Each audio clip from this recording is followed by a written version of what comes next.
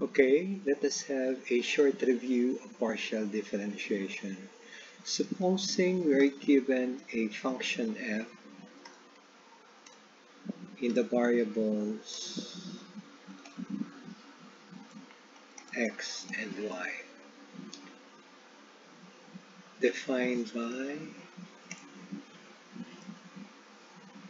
c equal to f of xy the partial derivative of z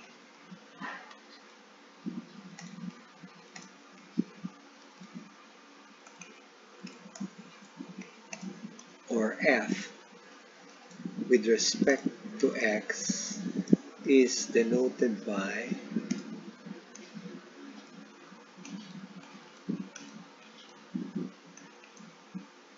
partial f with respect to x. Similarly, the partial derivative of f with respect to y is denoted by partial f with respect to y. By definition, the partial of f with respect to x is equal to the limit of f of x plus delta xy minus f of xy all over delta x as delta x approaches 0. In the like manner, the partial of f with respect to y is the limit of f of x y plus delta y minus f of xy all over delta y as delta y approaches 0.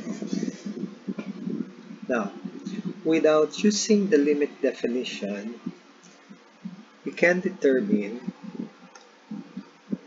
the partial of f with respect to x by just getting the derivative of f with respect to x with all the y terms treated as constant.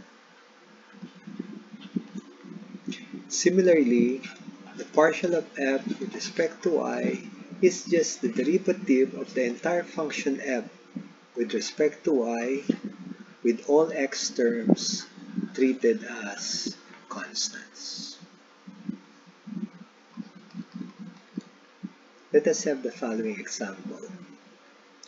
Say we are given f of xy equal to x raised to 4y cubed plus x y minus x squared plus 3y. We determine the partial of f with respect to x, the partial of f with respect to y.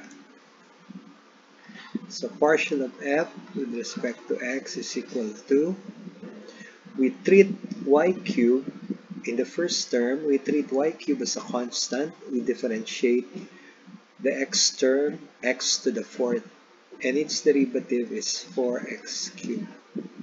So we just multiply it by the constant y. For the second term, we differentiate x with respect to x, which is 1, multiplied by y minus the derivative of x squared is 2x plus 3y is a pure constant as there is no x term so its derivative is 0. Next, we determine the partial of f with respect to y. So for the first term, we differentiate y cubed, which is 3y squared, multiplied to x to the fourth. So that is 3x to the fourth y squared. xy, derivative of y is 1 times the constant x, that will be equal to x. And x squared is a pure function of x whose derivative with respect to y will be 0. Finally, the derivative of 3y with respect to y is 3. We can also get the higher order partial derivatives. So let us also find the second partial of f with respect to x and the second partial of f with respect to y.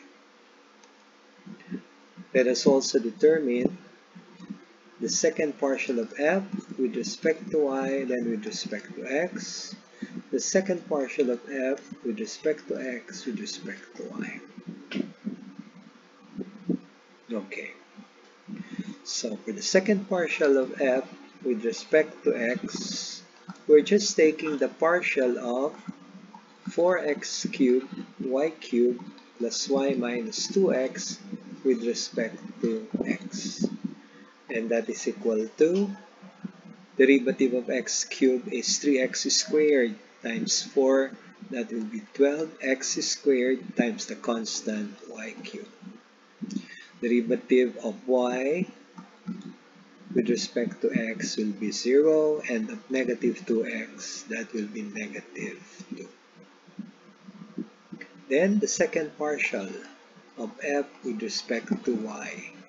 So we take the partial derivative of 3x to the fourth y squared plus x plus 3 with respect again to y. That is equal to the derivative of y squared is 2y times 3x to the fourth. That will be 6x to the fourth y. Then x plus 3 is a pure function of x whose derivative with respect to y will be 0. Okay, so let us then determine the other two higher order partial derivatives. We take the second partial of f with respect to y with respect to x. So we're taking the partial derivative of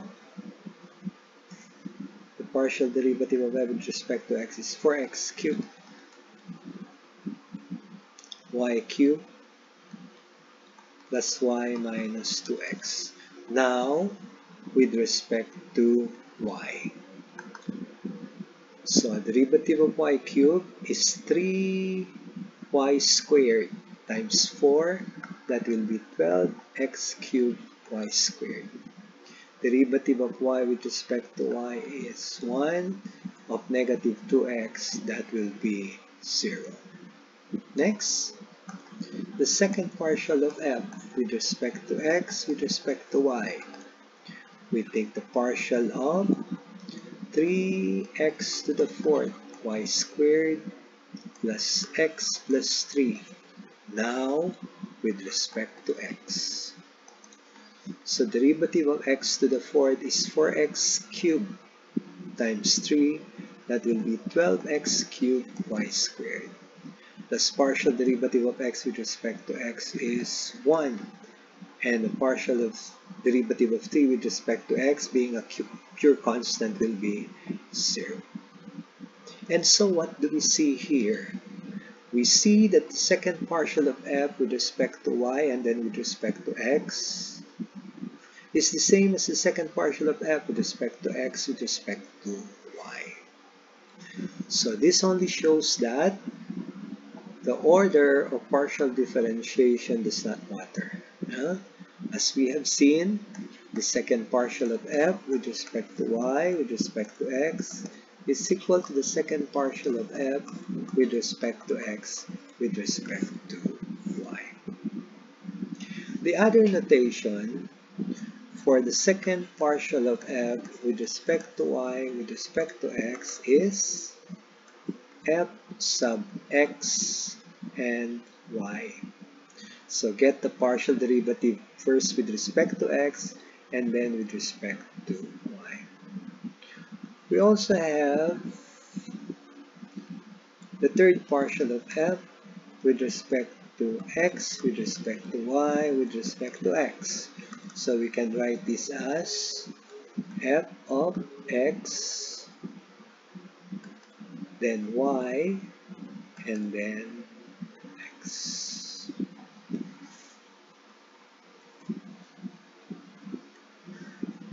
How do we then get the differential? how do we then get the differential of f? So if c is equal to f of xy, the differential of c is equal to the partial of f with respect to x dx plus the partial of f with respect to y dy. That is how we write or obtain the differential of f. This is of course equivalent to the differential of f. Okay. So supposing that our c is equal to e raised to xy plus x squared y. Let us find the differential of c. To find the differential of c is to determine first the partial of c with respect to x. So the derivative of e to the xy is e to the xy and the derivative of xy with respect to x is y. No? Remember y is a constant so the derivative of x is 1 times y plus the partial derivative of x squared y with respect to x is 2xy. We also determine the partial of c with respect to y. So the derivative of e to the xy is e to the xy and the derivative of xy with respect to y will be equal to x plus the derivative of x squared y with respect to y will be equal to x squared. So from this, we can write the differential of c equal to y e raised to xy plus 2xy dx plus x e to the xy plus x squared dy. We can write this in a simplified form by factoring y from y e to the xy plus 2xy. That will be e to the xy plus 2x dx plus in here we shall factor x times e to the xy plus x dy.